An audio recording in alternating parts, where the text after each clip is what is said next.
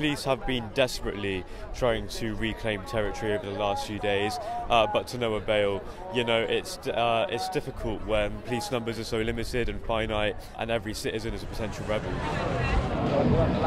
Welcome to the rebellion. We want to tell you a little bit about getting arrested because by telling you, you may be able to help some people who are prepared to be arrested on an action. This is a peaceful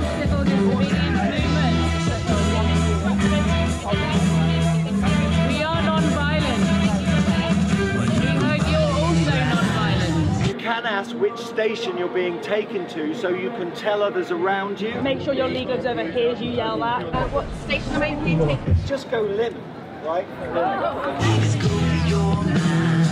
advise you not to accept. If you don't accept a caution, you may never get charged. You have to stand up for peace and love, sir. I, I think I've got freedom to protest wherever.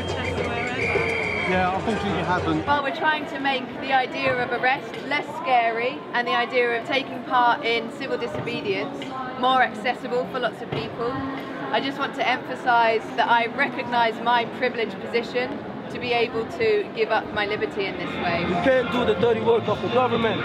The climate needs a change and we need a response. And they haven't said nothing for days, but they're saying you guys, you see. That's how it goes. What they fail to realise is if they take this spot, we'll just take another spot, or we'll reclaim this one.